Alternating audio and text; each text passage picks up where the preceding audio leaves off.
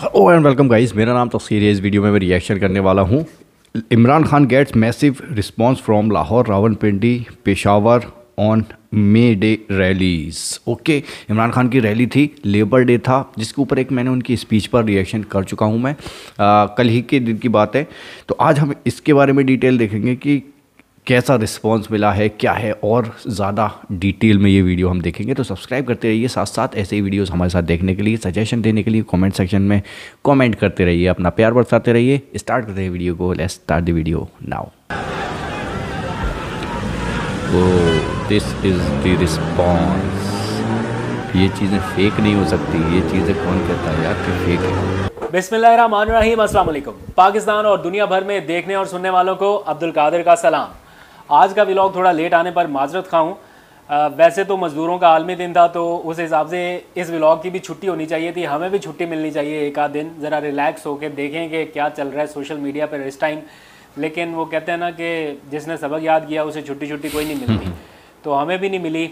और कुछ ऐसी हंगामी और एमरजेंसी किसी सिचुएशन है मुल्क में कि छुट्टी करनी भी नहीं चाहिए। हंगामी और एमरजेंसी सिचुएशन इसलिए है कि मुल्क में कोई बहुत बड़ा सैलाबी किस्म की सूरत का ख़दशा है ख़तरा है।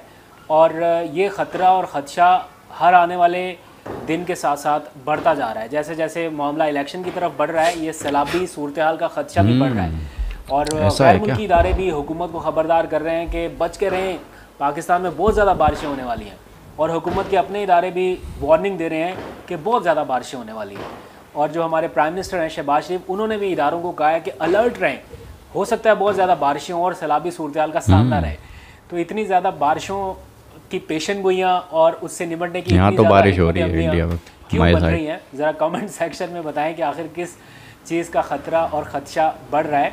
आ, मैं आज थोड़ी देर पहले के जो मनाजर देख के आया हूँ पीटीआई की जो आइन बचाओ पाकिस्तान बचाओ और अदलिया बचाओ रैली है उसके उसको देखकर तो लग रहा है कि ख़तरा है वाकई है। इमरान खान इस सिस्टम को हर आने वाले दिन के साथ चैलेंज कर रहा है। हर दिन नया चैलेंज वो लेके आ रहे हैं।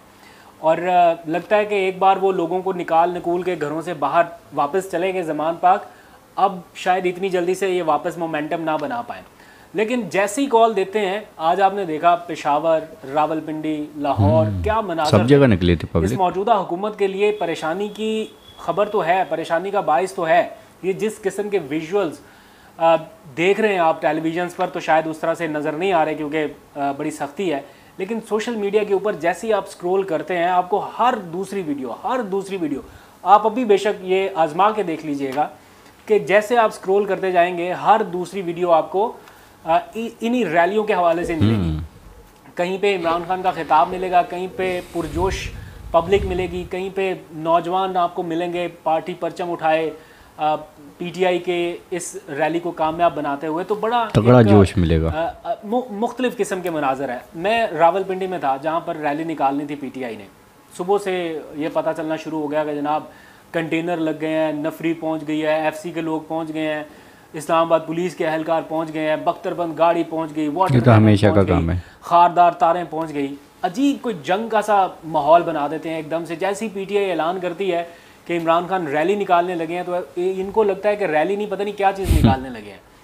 तो सारे परेशान हो जाते हैं कि बस किसी तरह से इमरान खान को रोको। और जितना रोकने की कोशिश करते हैं, जितना दबाने की कोशिश करते हैं अवाम उतनी ज़्यादा उनके साथ निकल के आती है। चलो, लाहौर में तो समझ आती है ना कि इमरान खान निकले बाहर तो इसलिए पब्लिक निकल आई। ये रावलपिंडी में, ये पेशावर में, ये लोकल लीडरशिप के साथ जिस तरह से अवाम बाहर निकल रही है ये चैलेंज कर रही है इस निज़ाम को, इस सिस्टम को कि आपके डराने से या आपके रोकने से ये काम नहीं रुकने वाला, ये सिलसिला नहीं रुकने वाला।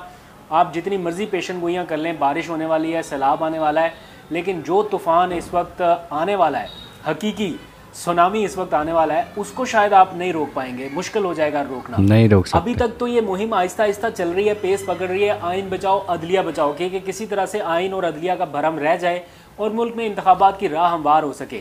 लेकिन अगर ना आइन बचा ना अदलिया बची जिस किस्म के बयान आज मैं सुन के आ रहा हूँ टेलीविज़न पर हुकूमती जमात के लोगों के सीधा सीधा वो कह रहे हैं कि अगर सुप्रीम कोर्ट ने तोहनी अदालत की कार्रवाई शुरू की या कोई फ़ैसला दिया तो हम उसे नहीं मानेंगे। एक तरफ़ है हुक्मरा जमात, जो अपना इकतदार आगे बढ़ाने के लिए कह रही है कि हम सुप्रीम कोर्ट के अहकाम को मानेंगे ही नहीं। और दूसरी तरफ़ है इमरान खान और ये सारी पब्लिक जो चैलेंज कर रही है कि अगर आप नहीं मानेंगे तो फिर इससे डबल पे से लोग बाहर निकलेंगे। और आज इमरान खान ने बड़ी क्लियर वार्निंग दी है, बड़े क्लियर अंदाज में ये बात की है। और मुझे वैसे ज़ाती तौर पर अगर मेरी आप राय जानना चाहें, मुझे ऐसा लगता है कि शायद मुश्किल हो इमरान खान के लिए तीसरी बार लोगों को बाहर निकालना। लेकिन नामुमकिन इसलिए नहीं लग रहा कि जब भी वो कॉल देते हैं लोग बाहर निकल आते हैं। तो अब ये मामला सिर्फ़ इमरान खान या पीटीआई के दरमियान नहीं रह गया। अब अवाम जहनी तौर पर इतनी टॉर्चर हो चुकी है इस निज़ाम से जहनी तौर पर इतने तंग आ चुके हैं महँगाई के बोझ तले दब चुके हैं कि अब अवाम शायद इंतज़ार कर रही है कि अब इमरान खान दोबारा कॉल दे। किसी वक्त इमरान खान दोबारा इन लोगों को निकाले। और अगर कोई हटदर्मी का सिलसिला इतना तवील कर दे कि ना वो इस मुल्क के आइन को माने, ना इस मुल्क के कानून को माने, ना इस मुल्क की अदालतों को माने तो फिर पाकिस्तान का निज़ाम कहाँ पर स्टैंड करता है? फिर हम कहाँ पर जाएँ? किसके दर पे दस्तक दें कि जो हमें इंसाफ दे सके? अगर इंसाफ का सबसे बड़ा फोरम ही आपने जैम कर देना है तो फिर मेरा ख्याल है इमरान खान सही कहते हैं कि आवाम सोच ले कि फिर इसी तरह चलना है या फिर श्रीलंका का मॉडल है। तो इमरान खान बार बार कह रहे हैं और आज एक बार फिर उन्होंने कहा कि मैं पब्लिक को सड़कों पे निकालूँगा। जैसे मैं पहले कह चुका आई एम नॉट श्योर कि ये तीसरी मूव उनकी सक्सेसफुल होगी या नहीं होगी क्योंकि पहली दो बहुत तगड़ी मूव्स वो कर चुके हैं और अपना जितना ज़ोर वो लगा सकते थे वो लगा चुके हैं। लेकिन तब मामला थोड़ा सा डिफरेंट था।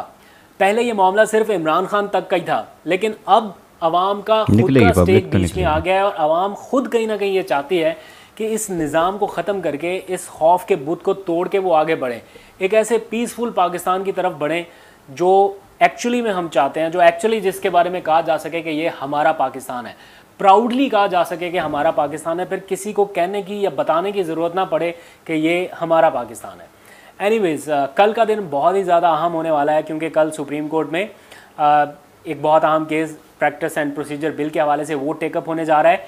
प्लस कल हुकूमत और पीटीआई के दरमियान मुजाकरात का फाइनल राउंड होने का इम्कान है। इमरान खान ने मुजाकरात के अंदर की जो कहानी है, जो बंद कमरे में जो चीज़ डिस्कस हो रही है, आज आवाम के सामने भी बता दी। और मुझे ये चीज़ पसंद है कि आप बंद कमरों में जो फैसले कर रहे हैं, उसके बारे में सीधा सीधा आवाम को बताएँ कि हमारा ये मुतालबा है।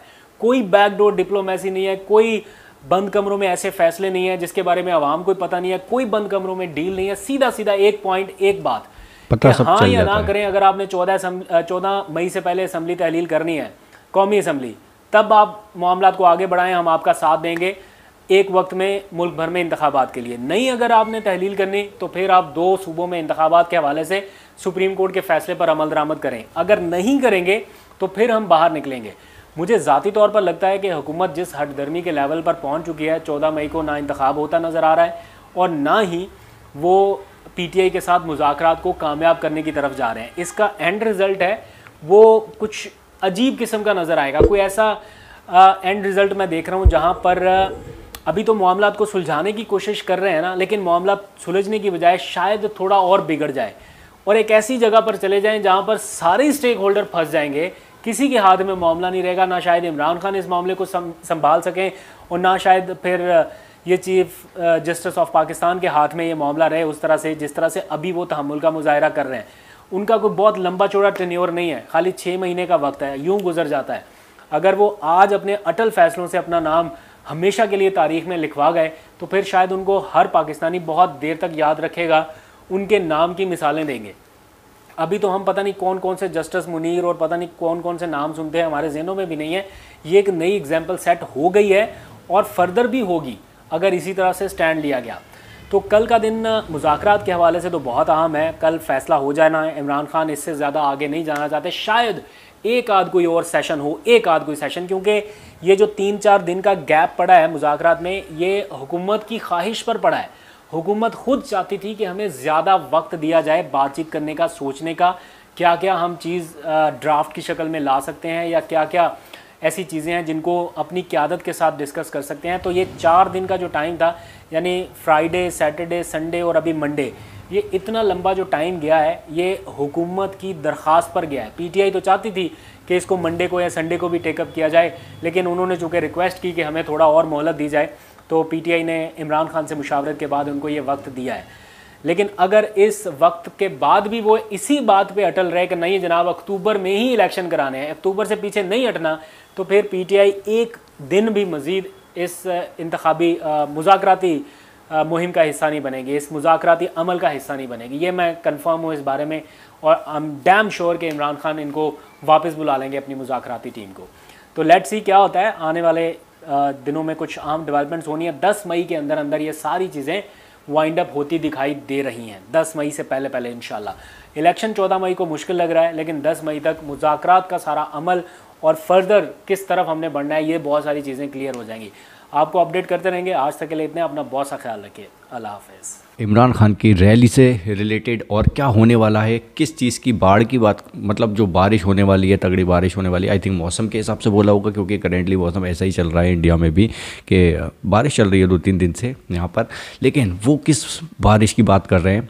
बारिश तो मुझे दिख रही है कि इमरान खान की तरफ़ से आ सकती है, क्योंकि अगर उन्होंने एक और कॉल दे दी, इनको लग रहा है कि शायद तीसरी कॉल पे इतनी पब्लिक ना आए लेकिन मुझे लग रहा है कि यार उन्होंने जब भी बुलाया है पब्लिक बढ़ चढ़ कर आई है। मुझे तो कमी नज़र नहीं आई कभी भी कि यार इस बार उन्होंने कम कमी कर दी पब्लिक ने इस बार कम आई है पब्लिक ऐसा मुझे कभी महसूस नहीं हुआ। जब भी उन्होंने बुलाया जब भी उन्होंने कोई कॉल दी है तो पब्लिक हमेशा बढ़कर ही आगे आई है। रिलीज़ का क्या होता है इलेक्शंस का क्या होता है ये भी आ, एक फ़ैसला है। अगर पब्लिक कह रही है कि कोर्ट का फ़ैसला मानो।